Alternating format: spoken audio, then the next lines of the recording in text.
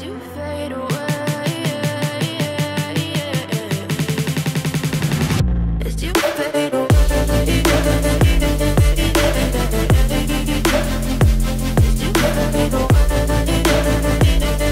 Guys, balik lagi sama gue Navi Gaming di sini di konten ngobrol-ngobrol belajar bareng Top Global dan kali ini gue bakalan ngebawain kepada kalian semua Raja Mage dunia yang lagi pakai Parsha.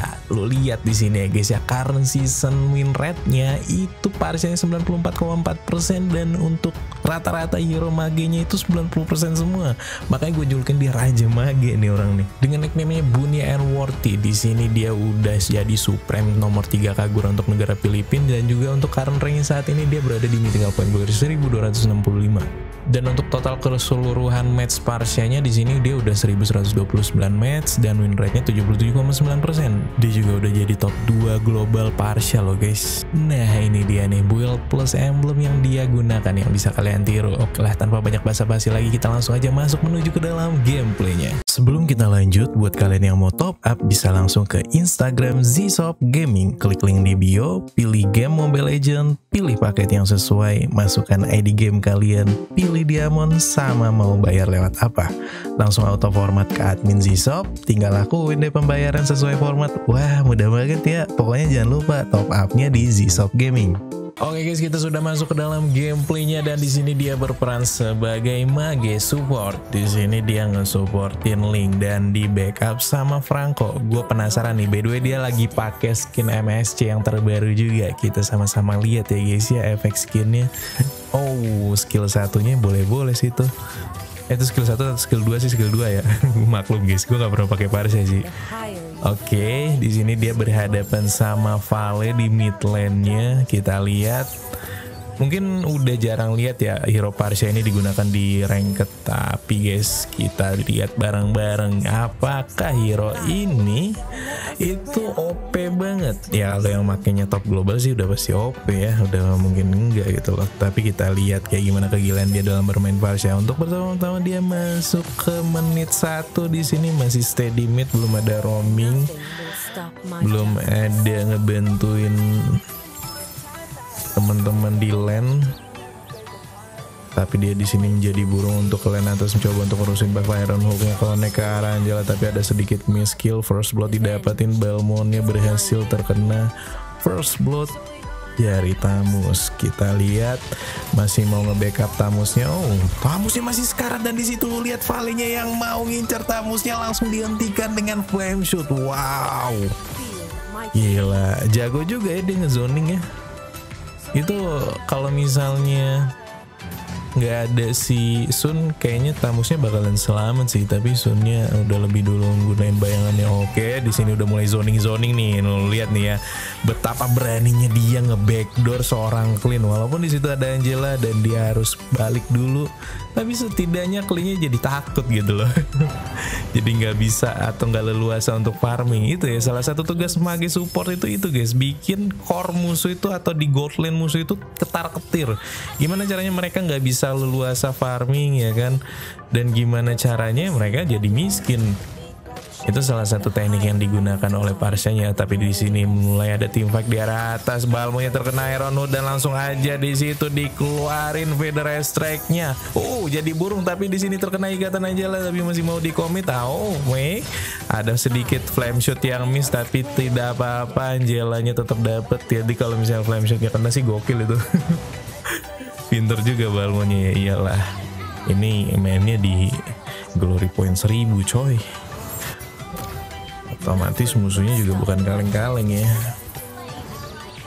Oke, dia recall terlebih dahulu levelnya udah level 5 dan untuk itemnya pertama-pertama dia bikin Clock of Destiny nih kayaknya kalau dari uh, apa tuh namanya item yang dia cicil kayaknya menuju ke arah COD Clock of Destiny tapi di sini ada ada feeder strike ke arah cleannya langsung di killing spree nggak perlu skill 1 skill 2 langsung feeder strike ulti mati cleannya nggak bisa ke mana-mana.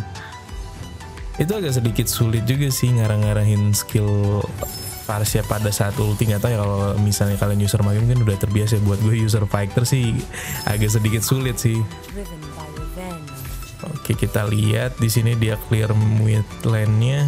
Mid lane ini jangan pernah kalian tinggal ya guys ya. Walaupun Parsianya dari tadi roaming ke atas, roaming ke bawah, tapi mid lane-nya selalu terjaga dengan sangat-sangat rapi.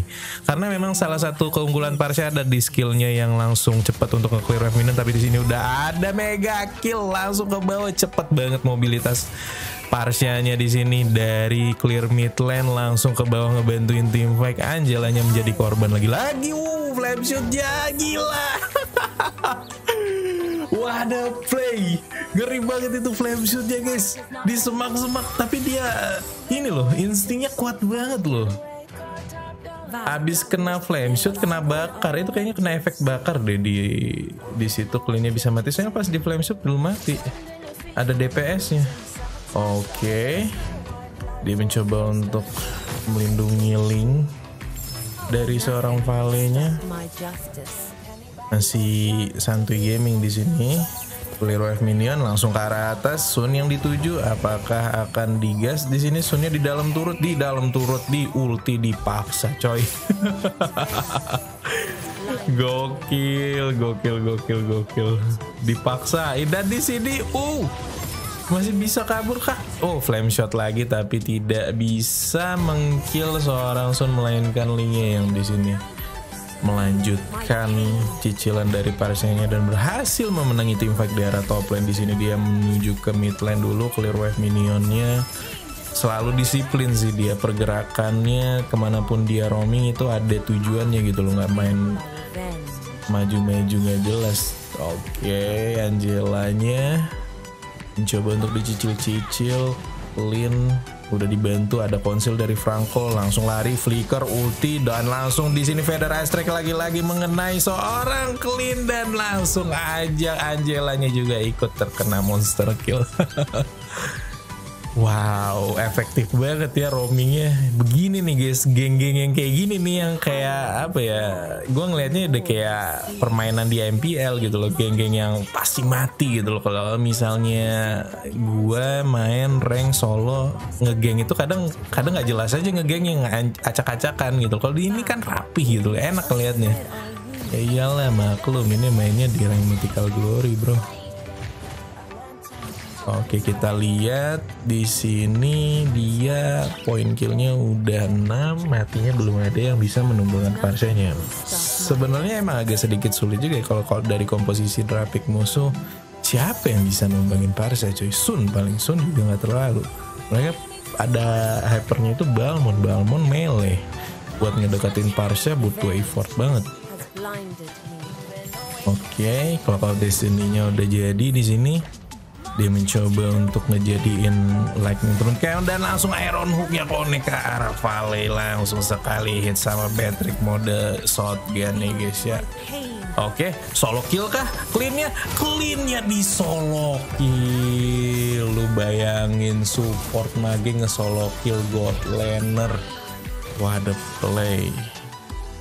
Ya gimana? Enggak sih ya Cleannya belum ada magic defense sama sekali. Sementara Parsianya udah jadi Lightning Turun dan Clock of Destiny Yang which is ngebuat magic AOE nya Magic damage dari skill Parsianya itu lah jadi lebih sakit gitu loh. Dan di sini dia mencoba untuk ngepaksa turret di arah mid lane oh darahnya sekarang tapi di situ masih bisa. Selamat dengan bantuan mode burung. Dia bisa selamat dari kematian. Bahaya nih kalau di shutdown musuh atau kaya nih soalnya dia udah 7 poin kill cuy. 7 poin kill ini kalau ke shutdown kira-kira musuh bisa dapat 500 sampai 600 gold. Oke. Wings. kita lihat di sini dia mau ke mana lagi. Lord masih belum muncul ya. Belum ada tanda-tanda mau ke N ini masih santai aja ngegoreng-goreng musuh di arah base-nya. Uh hampir flame shoot-nya. Tipis tipis tipis. Dan uh dia nggak pelit ulti ya. Maksud gue dia ulti ulti aja gitu loh. Nggak nunggu momen apa apa udah ulti aja biar nakut nakutin musuh. Gue tahu tujuannya di situ untuk bisa ngehit bisa nge-free hitin inhibitor turretnya. Dan lo lihat guys nggak ada yang bisa ngedev alhasil turret di arah mid lane-nya langsung pecah itu salah satu strategi teknik ancaman ya guys ya. Oke, Lord udah dapet, efektif banget sih ini. gue kalau dapet tim yang kayak gini sih bisa ngejar ke glory ribuan terus menang-menang terus maksudnya ya nggak heran gue ngeliat dia win rate nya 90% ke atas semua hero magic hero magenya maksud gue itu 90% dan ke atas kan tadi kalian lihat sendiri di current rank seasonnya. Ya iya karena ini. Match atau gameplay dari timnya ya kayak gini kompak banget. Nggak heran gue bukan ngecit dia atau GB enggak ini murni ya guys ya. The higher you fly, karena kalau misalnya dia di rank glory ini saat-saat minim untuk GB sulit. Biasanya GB-GB itu di tier epic GM tuh yang banyak tuh Oke, dia recall terlebih dahulu tadi udah langsung masuk. Ini baru Lord pertama, tapi kalau kalian lihat ini bitur turretnya langsung udah pecah langsung mengarah ke arah base. Oh, magicnya bukan main itu sakit banget Balmon satu kali tetes doang feeder strike-nya langsung ter. Hazeland. Dan di sini mencoba untuk nge NK menit 9 loh, ini cepet banget loh. Oke dipaksain nampaknya. Tapi digoreng-goreng dulu Clean terkena Aeronaut Langsung aja di commit Legendary. 10 poin kill tanpa mati sama sekali. Nggak ada yang bisa menghentikan Parsianya di sini. Oke kita lihat. Langsung aja masuk ke arah base dan commit untuk menangin gamenya. 10 poin kill matinya 0 asisnya 6 dan dia menjadi MVP gimana kalian tertarik mencoba hero Parsha untuk di meta sekarang? Memang jarang sih cukup jarang yang pakai Parsha ya untuk dijadiin mage support. Tapi bisa kalian jadiin opsi lah.